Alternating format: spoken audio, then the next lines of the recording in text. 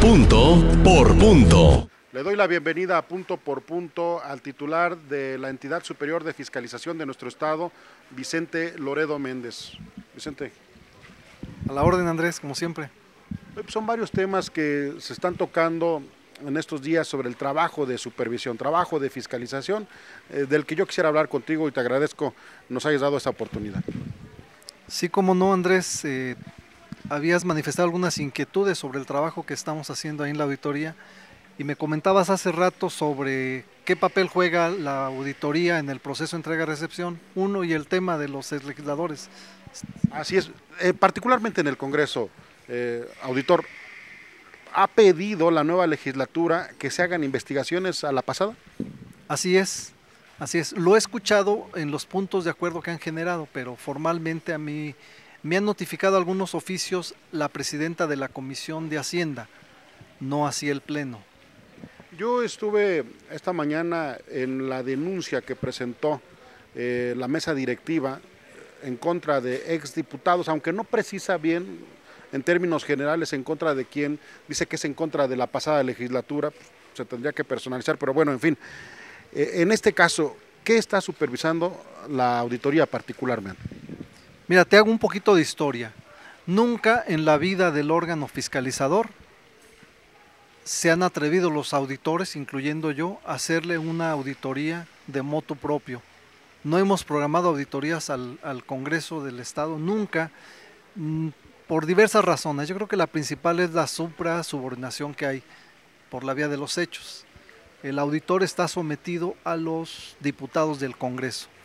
¿Qué sucedió en esta ocasión? Es la misma legislatura pasada la que ordena una auditoría especial. En eso nos pusimos a trabajar.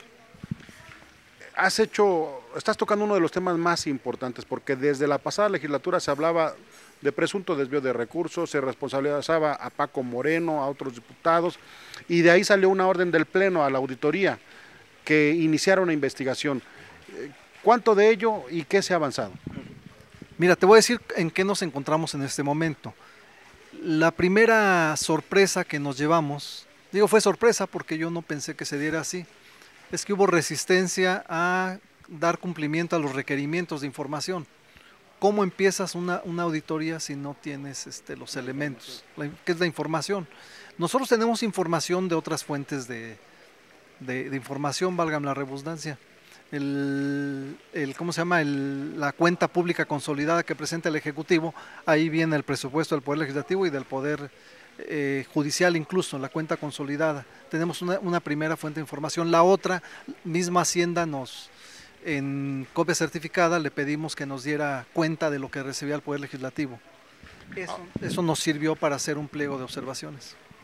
Y, bueno, no me quiero desviar, eh, aprovechando lo que me mencionas, ese pliego de observaciones, ¿en qué consisten? Principalmente tomando en cuenta que no hay suficiente información.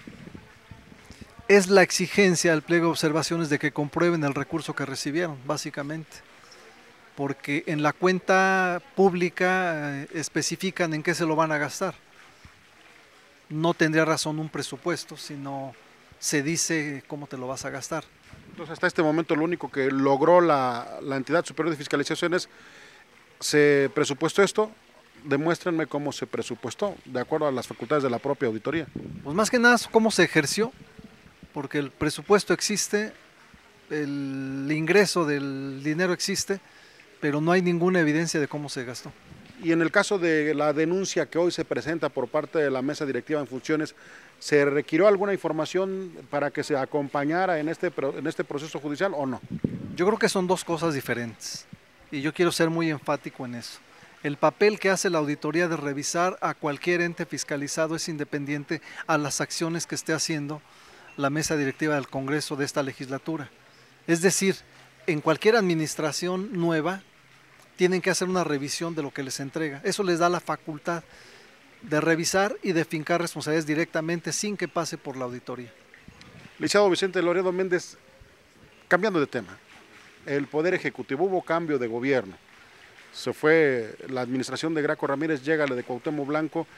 Tiene que haber un proceso de entrega-recepción, pero concretamente en cuanto a facultades de la auditoría, de la entidad superior de fiscalización, ¿qué avances eh, hay en la revisión del gasto público? Mira, yo te puedo decir que cuando recibí la institución, que fue hace tres años y medio aproximadamente, manteníamos un rezago tremendo en todos los rumbos, municipios, órganos descentralizados. Y un año yo creo que perdí mi tiempo, eh, institucionalmente hablando, queriendo solucionar el rezago. Eso se logró al segundo año, de tal manera que todo la mayor parte de los entes regularizaron su, su revisión hacemos las revisiones a tiempo. Siempre se revisa a año fiscal ejercido. Es decir, las revisiones del 2015 se hicieron 16, el, 16, el 17 la del 16 y así sucesivamente. Yo te puedo decir que la revisión del Poder Ejecutivo está a tiempo, están hechas las auditorías, falta la de 2018 que se tendría que hacer en 2019. Y en otro tema, respecto a, a lo que viene en los municipios, ¿Qué es donde trabaja más ampliamente la auditoría? La, revisión de las administraciones municipales. ¿Viene el proceso de entrega-recepción? ¿De qué manera participa la ESAF? Mira, yo estoy muy contento porque aunque la ley nos da una participación muy marginal, nosotros tenemos experiencia en ver cómo se desenvuelven las, los procesos de entrega-recepción por una razón. Nosotros tenemos la facultad de hacer los formatos, pero la responsabilidad recae en el contralor. Pero ¿qué sucede en los hechos? En los hechos este, no está tan desarrollada esa actividad del Contralor y hemos entrado, digamos que, de emergentes para cuestiones de asesoría, sin tener la facultad de contundente legal. Eso nos ha facilitado, nos ha dado mucha experiencia, hemos participado. Tenemos que ser muy cuidadosos porque tenemos que ser imparciales. Yo no me quiero meter mucho, efectivamente, muy a fondo no se puede. Hay disposiciones legales que impiden que se hable de las auditorías que se están realizando, pero yo preguntaría, eh, auditor, desde hace años hemos buscado una auditoría más fuerte, más sólida, eh, pero sin embargo en los hechos lo conversábamos ahorita aquí. La auditoría, la entidad es designada por los diputados y cuando se trata de que la propia auditoría rinda cuentas, pues rinde cuentas ante los diputados. ¿Qué tanto se ha avanzado y dónde se tendría que seguir avanzando? Mira, hay una ventaja en la ley la ley nueva, la ley de fiscalización que se homologa a la federal, nos obliga a rendir informes, uno parcial y otro general. El informe general se presenta en febrero del 2019, el primer informe general, y un informe parcial lo vamos a presentar el 31 de octubre. Tenemos buenas cuentas. Y yo te puedo decir con, no es autocomplacencia, lo digo con mucha responsabilidad el Congreso del Estado de Morelos, a lo largo de los años de existencia del órgano fiscalizador, no le ha importado la auditoría. Se meten con su personal, se meten con el presupuesto y no le dejan hacer su tarea sustantiva. Hemos remado a contracorriente siempre, ahorita no es la excepción. Tenemos un órgano de fiscalizador débil institucionalmente, al que creo yo que en el marco de una transformación del Estado mexicano, se tiene que poner el acento en fortalecer uno de los eh, engranajes del sistema estatal anticorrupción. Y no lo estoy hablando por Vicente Loredo, por la gente que trabaja ahí, sino porque es un tema de salud pública, de salud eh, social, de tener un órgano que responda a las, a las expectativas de la gente. Nadie se ha interesado. Y te comento un dato, la pasada legislatura, invitada por el auditor superior de la federación, les dijo, la auditoría de Morelos está muy por abajo, abajo del requerimiento mínimo para funcionar. Y es la verdad. Pues, licenciado Vicente Loredo, muchas gracias por esta charla rápidamente tocando los temas más importantes en los aspectos que se puede. Soy enfático porque mucha gente se preguntará, bueno, más detalles, más explicaciones, pero realmente la ley acota mucho. Mira, ya hay una ventaja en, la nueva ley de fiscalización. El dos, en, el, en el informe que presente en octubre, vamos a poder detallar ya entes fiscalizados, cuántas observaciones. Se rompe un poquito el principio de secrecía. No vamos a hablar de personas, pero sí vamos a hablar de municipios y vamos a hablar de, observaciones. En el informe eh, de la, de la cuenta pública 2016. Pues yo para finalizar, a mí no me gusta meterme en asuntos personales de ningún servidor público. Pero esta semana en redes sociales principalmente se te ha criticado por tu fiesta de cumpleaños, 53 años, Vicente. Eh, y yo en lo personal te preguntaría, ¿cómo has recibido esas críticas? Eh, ¿Qué has pensado?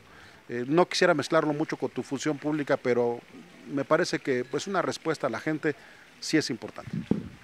Pues mira, yo tengo esa costumbre por años. Yo me quiero mucho y yo me celebro y tengo amigos. Y no son amigos precisamente del, del ramo del, del, servicio público, no. Es, es, una tontería pensar eso. Y pensar que voy a hacer un pase de charola para esa, para esa celebración propia.